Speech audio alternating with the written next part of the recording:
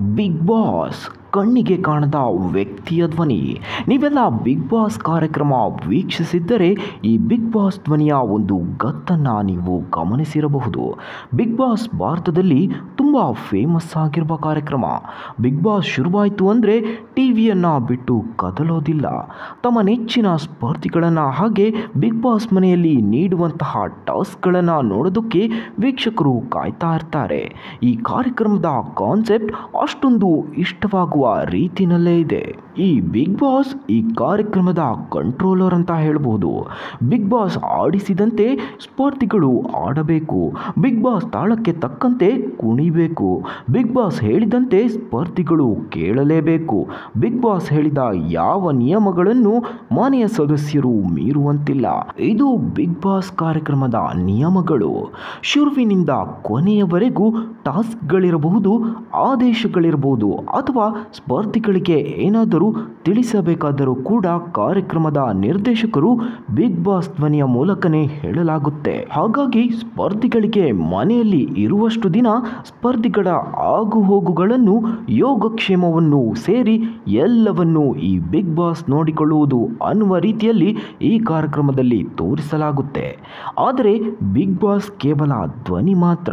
ಇವರು ಯಾವುದೇ ನಿರ್ಧಾರ ತೆಗೆದುಕೊಳ್ಳೋದಿಲ್ಲ. ಕಾರ್ಯಕ್ರಮದ ನಿರ್ದೇಶಕರ ಕಡೆಯಿಂದ ಸ್ಕ್ರಿಪ್ಟ್ ಮಾಡಿರುವುದನ್ನು ತಮ್ಮದೇ ಶೈಲಿಯಲ್ಲಿ ಓದಿ ಹೇಳುವುದು ಬಿಗ್ ಬಾಸ್ಗೆ ಕಂಠದಾನ ಮಾಡುವ ಕಲಾವಿದನ ಕೆಲಸ. ಈ ರಿಯಾಲಿಟಿ ಶೋ ಕಾರ್ಯಕ್ರಮದಲ್ಲಿ ಬಿಗ್ ಬಾಸ್ ಎಲ್ಲವೂ ಕೂಡ, ಆದರೆ ಇವರು ಕಣ್ಣಿಗೆ ಎಂದಿಗೂ ಕಾಣಿಸುವುದಿಲ್ಲ. ಆದರೂ ಕೂಡ ತಮ್ಮ ಧ್ವನಿಯ ಮೂಲಕ ಎಲ್ಲ ಆದೇಶಗಳನ್ನು ಮಾಡ್ತಾರೆ. ಸ್ಪರ್ಧಿಗಳು ಕೂಡ ಬಿಗ್ ಬಾಸ್ ಹೇಳಿದಂತೆ ಬಹಳ ಅಚ್ಚುಕಟ್ಟಾಗಿ ಚಾಚು ತಪ್ಪದೆ ಮಾಡ್ತಾರೆ. ಅದು ಬಿಗ್ ಬಾಸ್ ಧ್ವನಿಗೆ ಇರುವ ಶಕ್ತಿ ಅಂತ ಹೇಳ್ಬೋದು. ಕೆಲವೊಮ್ಮೆ ಸ್ಪರ್ಧಿಗಳು ಬಿಗ್ ಬಾಸ್ ಧ್ವನಿಗೆ ಭಾವನಾತ್ಮಕವಾಗಿ ಹೊಂದಿಕೊಂಡಿರುವುದನ್ನು ಕೆಲ ಸ್ಪರ್ಧಿಗಳು ತಮ್ಮ ತಮ್ಮ ಅಭಿಪ್ರಾಯಗಳನ್ನು ವ್ಯಕ್ತಪಡಿಸಿರುವುದನ್ನು ನೀವು ನೋಡಿರಬಹುದು ಮನೆಯಲ್ಲಿ ಇರುವಷ್ಟು ದಿನ ಬಿಗ್ ಬಾಸ್ ಕೇವಲ ತಮ್ಮ ಧ್ವನಿಯ ಮೂಲಕ ಭಾವನಾತ್ಮಕವಾಗಿಯೂ ಎಲ್ಲರನ್ನೂ ಹಿಡಿದಿಟ್ಟುಕೊಳ್ಳುತ್ತಾರೆ. ಹಾಗಾದರೆ ಈಗ ನಮ್ಮ ಕನ್ನಡದ ಬಿಗ್ ಬಾಸ್ ಶೋ ವಿಚಾರಕ್ಕೆ ಬರೋಣ. ಇಷ್ಟೆಲ್ಲ ಜನರಿಗೆ ಹಾಗೆ ಸ್ಪರ್ಧಿಗಳಿಗೆ ಮೋಡಿ ಮಾಡಿರುವಂತಹ ಬಿಗ್ ಬಾಸ್ ಧ್ವನಿ ಹಿಂದೆ ಇರುವ ಆ ಮೋಡಿಗಾರರು ಯಾರು? ಯಾರು ಈ ಕಂಠದಾನ ಕಲಾವಿದರು ಅನ್ನೋದನ್ನು ಸೀಸನ್ ವೈಸ್ ನಿಮಗೆ ತಿಳಿಸಿಕೊಡ್ತೀನಿ. ಕನ್ನಡದ ಬಿಗ್ ಬಾಸ್ನಲ್ಲಿ ಸಾಮಾನ್ಯವಾಗಿ ನೀವು ಎಲ್ಲ ಸೀಸನ್ನಲ್ಲೂ ಎರಡು ಧ್ವನಿಯನ್ನು ಕೇಳಿಸಿಕೊಂಡಿರ್ತೀರಿ. ಕಂಟೆಸ್ಟೆಂಟ್ಗಳಿಗೆ ಆದೇಶವನ್ನು ಹಾಗೆ ಕನ್ಫೆಷನ್ ರೂಮ್ನಲ್ಲಿ ಸ್ಪರ್ಧಿಗಳಿಗೆ ಮಾತನಾಡಿಸುವ ಒಂದು ಬಿಗ್ ಬಾಸ್ ಧ್ವನಿಯಾದರೆ ಇನ್ನೊಂದು ಕಾರ್ಯಕ್ರಮದ ಸನ್ನಿವೇಶ, ದಿನದ ಸಮಯ ಹಾಗೆ ಎಷ್ಟನೇ ದಿನ ಬಿಗ್ ಬಾಸ್ ಎಪಿಸೋಡ್ ನಡೀತಿದೆ ಅಂತ ಹೇಳುವುದು ಇನ್ನೊಬ್ಬರ ಧ್ವನಿ.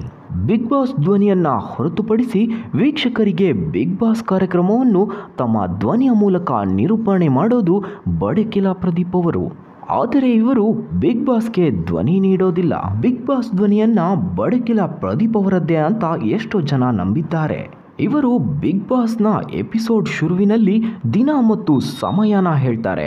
ಹಾಗೆ ಎಪಿಸೋಡ್ನ ಕೊನೆಯಲ್ಲಿ ಎಲ್ಲರೂ ಮಲಗಿದ ಮೇಲೆ ಸಂಚಿಕೆಯ ಸಾರಾಂಶ, ಅಂದರೆ ಕೊನೆಯಲ್ಲಿ ಒಂದು ಸ್ಲೋಗನ್ ಹೇಳ್ತಾರೆ. ಇದರ ಜೊತೆಗೆ ಎಪಿಸೋಡ್ನಲ್ಲಿ ಸನ್ನಿವೇಶವನ್ನು ವೀಕ್ಷಕರಿಗೆ ತಿಳಿಸಿ ಹೇಳುವುದು ಇದೇ ಬಡಕಿಲ ಪ್ರದೀಪ್. ಪುತ್ತೂರಿನ ಮುತ್ತು ಅಂತಾನೆ ಫೇಮಸ್ ಆಗಿರುವ ಪ್ರದೀಪ್ ರವರ ಧ್ವನಿಯನ್ನು ನೀವು ಕಲರ್ಸ್ ಕನ್ನಡದಲ್ಲಿ ಪ್ರತಿದಿನ ಕೇಳ್ತಾ ಇರ್ತೀರಿ. ಇನ್ನು ಬಿಗ್ ಬಾಸ್ ಧ್ವನಿಯ ವಿಚಾರಕ್ಕೆ ಬರೋಣ. ಬಿಗ್ ಬಾಸ್ ಧ್ವನಿಯನ್ನ ಯಾರು ಅಂತ ವಾಹಿನಿಯವರು ಎಲ್ಲೂ ಕೂಡ ಬಿಟ್ಟು ಕೊಡೋದಿಲ್ಲ. ಬಿಗ್ ಬಾಸ್ಗೆ ಧ್ವನಿ ಕೊಡುವವರು ಸಹ ಎಲ್ಲೂ ಬಿಗ್ ಬಾಸ್ಗೆ ಧ್ವನಿ ನಾನೇ ಕೊಡೋದು ಅಂತ ಹೇಳಿಕೊಳ್ಳುವಂತಿಲ್ಲ.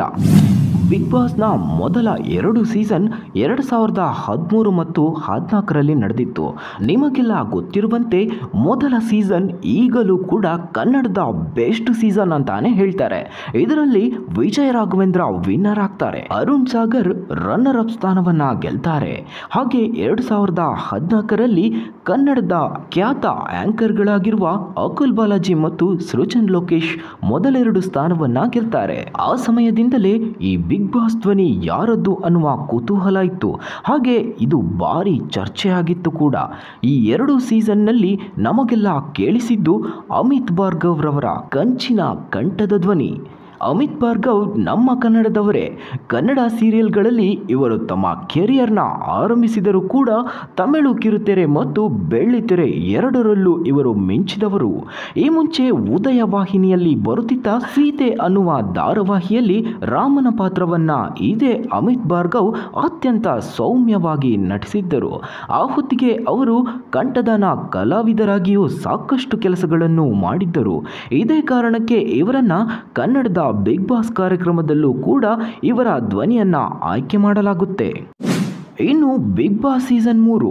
ಸೀಸನ್ ಮೂರರ ಹೊತ್ತಿಗೆ ಬಿಗ್ ಬಾಸ್ ಧ್ವನಿ ಯಾಕೋ ಬದಲಾಗಿದೆ ಅನ್ನುವಂತಹ ಅನುಮಾನ ಬಿಗ್ ಬಾಸ್ ವೀಕ್ಷಕರು ವ್ಯಕ್ತಪಡಿಸಿದ್ರು. ಹೌದು, ಇದು ನಿಜ ಕೂಡ. ಬಿಗ್ ಬಾಸ್ ಮೂರರಲ್ಲಿ ಬಿಗ್ ಬಾಸ್ಗೆ ಧ್ವನಿ ನೀಡಿದ್ದು ಯಾರು ಅಂತ ಕೇಳಿದರೆ ನೀವು ಕೂಡ ಒಂದೊಮ್ಮೆ ಶಾಕ್ ಆಗ್ತೀರಾ. ಬಿಗ್ ಬಾಸ್ ಮೂರರಲ್ಲಿ ಬಿಗ್ ಬಾಸ್ಗೆ ಧ್ವನಿ ನೀಡಿದ್ದು ಜೊತೆ ಜೊತೆಯಲ್ಲಿ ಧಾರಾವಾಹಿಯಲ್ಲಿ ಫೇಮಸ್ ಆಗಿರುವ ಜೇಂಡೆ ಅವರ ಧ್ವನಿ. ಇವರ ನಿಜವಾದ ಹೆಸರು ಬಿ ಎಂ ವೆಂಕಟೇಶ್, ಕನ್ನಡದ ಪ್ರಸಿದ್ಧ ಕಂಠದಾನ ಕಲಾವಿದರು.